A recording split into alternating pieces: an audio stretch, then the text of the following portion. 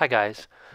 In one of the video uh, warm-ups that I had you guys do, there was a question about the electric field from a ring. It's a question related to the chapter 15 material. And the, the question was, at what distance from the ring does the electric field become a maximum? So I wanted to, to look at that function. It basically, I've graphed it here.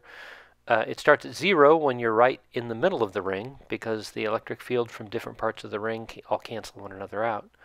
And as you get farther from the ring, in units of the ring's radius, so here you're one radius away at one, notice the field's already dropping. So some folks said that it was when the z was equal to r that you get a maximum, but clearly that's past the maximum.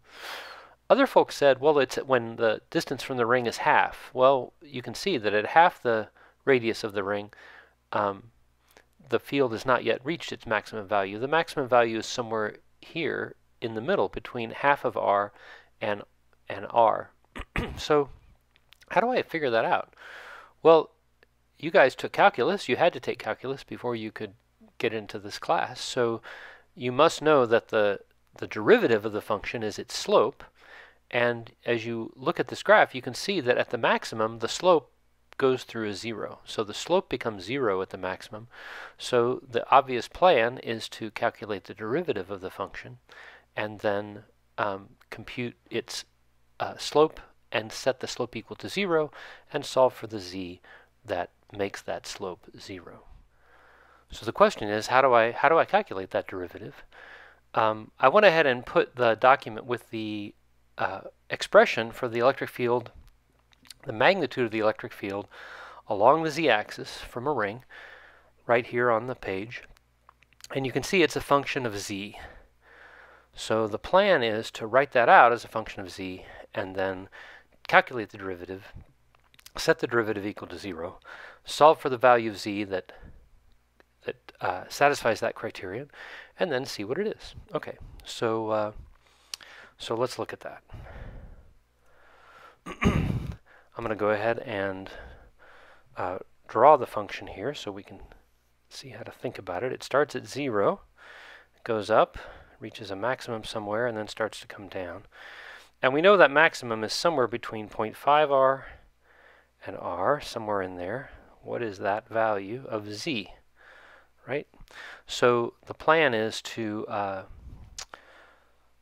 write out the electric field, the magnitude of the electric field. I'm going to just copy it from the sheet here. 1 over 4 pi e0. I know there's a q. I know there's a z.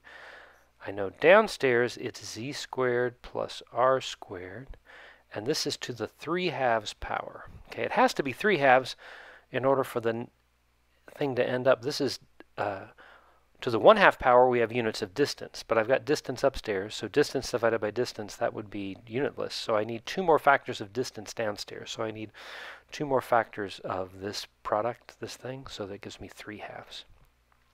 Okay, so um, Let's go ahead and calculate the derivative of the magnitude of E with respect to Z. now one way to make that easier is to rewrite this. Let's think of this as 1 over 4 pi epsilon 0.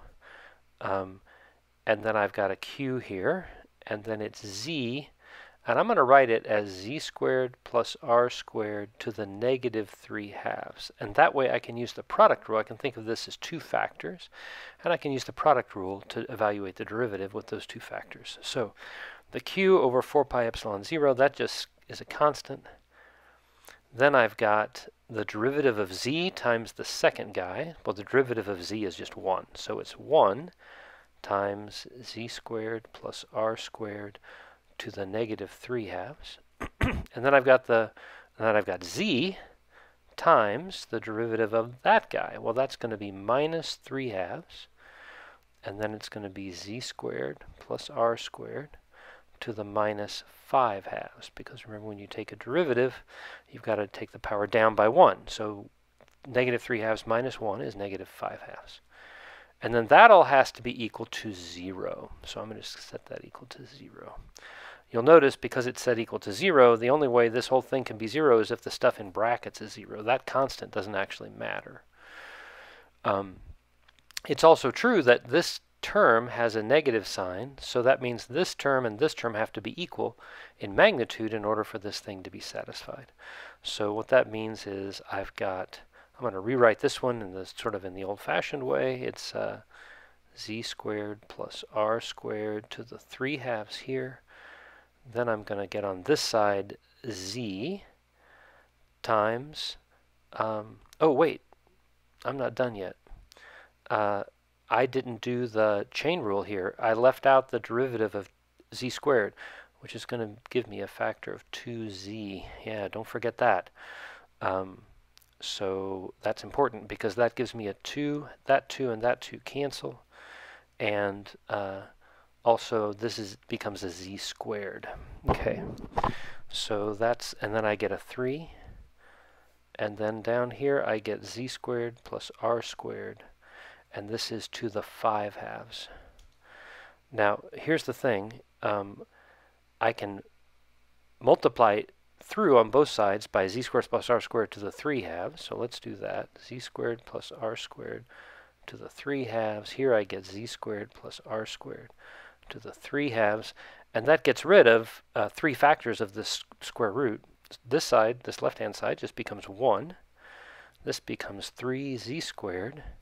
And then I just end up with z squared plus r squared downstairs because it's it's z squared plus r squared to the 2 halves because 3 halves get cancels there. So it's just z squared plus r squared. And so you can see if I multiply through, I get 3z squared is equal to z squared plus r squared.